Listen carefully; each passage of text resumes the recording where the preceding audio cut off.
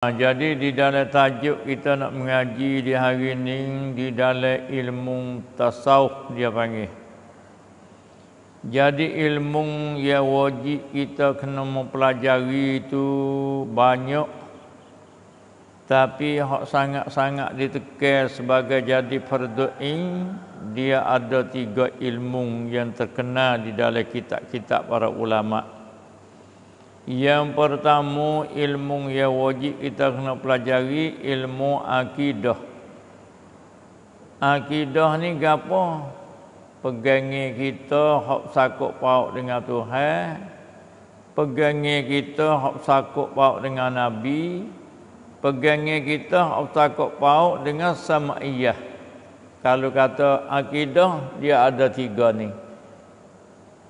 Hubungi yang berkait ikatan yang bahasa hati kita kena pegang kata Tuhan ada kena pegang kata Tuhan sedia kena pegang kata Tuhan kekal hingga seterusnya dia panggil akidah ketuhanan bahasa Melayu kita pegangi ikatan siput sipoleh hati yang bersakut paut dengan ketuhanan satu.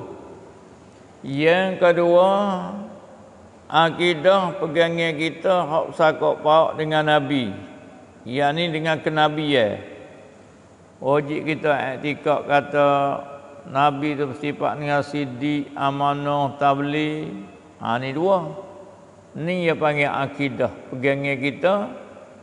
Orang panggil ikatan kita dengan bak ketuhanan dengan bak kenabian ilmu ni lah. Hari ni ni nipis. Kerana balik orang mengajar posiki balik orang ngaji posiki ilmu ni. Yang tiga hak bahasa sama iyah. Hati kita kena ada hubungi hak bahasa sama iyah ni hak kena dengar.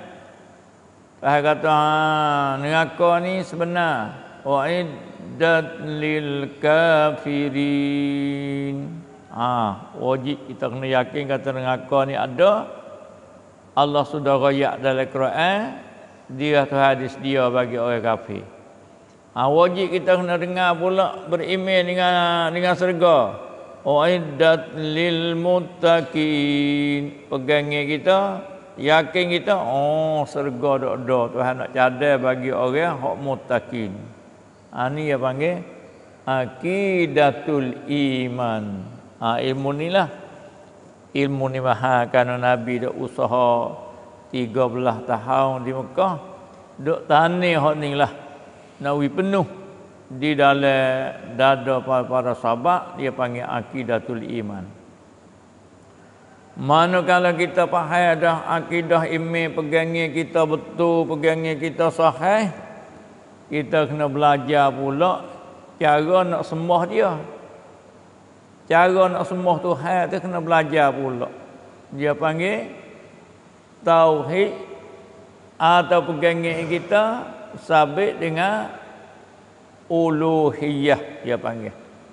Ha, hanya hak boleh kita sembah, hak boleh kita beribadat ialah kepada Allah. Ah ha, kali itu ibadat ni kalau kalau sebut atas ibadat baik peko baik haji eh, baik, baik semaya, baik zakat, baik haji, semua ni dia ada dua kena berjanji. Rukun kena pandang, syarat kena pandang. Semaya kita dia ada rukun, semaya kita dia ada syarat. Rukun dan syarat kedua-dua tu wajib kedua. Lepas tu kena tahu pula hak sunat dalam semaya. Hak makruh dalam semaya. Hak bata dalam semaya. Ha, ni panggil hak berhubung kait. Dengan kita nak beribadat, nak wisah. Kena belajar di dalam pakis. Ha, ha. Akidah kita betul dah.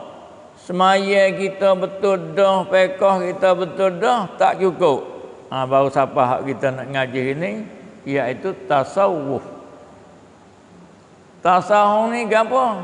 Nak bersihkan hati kita takut hati kita ada lobo takut hati kita ada tomok takut hati kita ada sombong takut hati kita ada sum'ah takut ada ujuk takut ada deki kita mengaji dalam tasawuf ha, jadi tiga-tiga ni ni kena belajar. Wajib kita kena belajar dan wajib kita kena talaki dengan tok guru.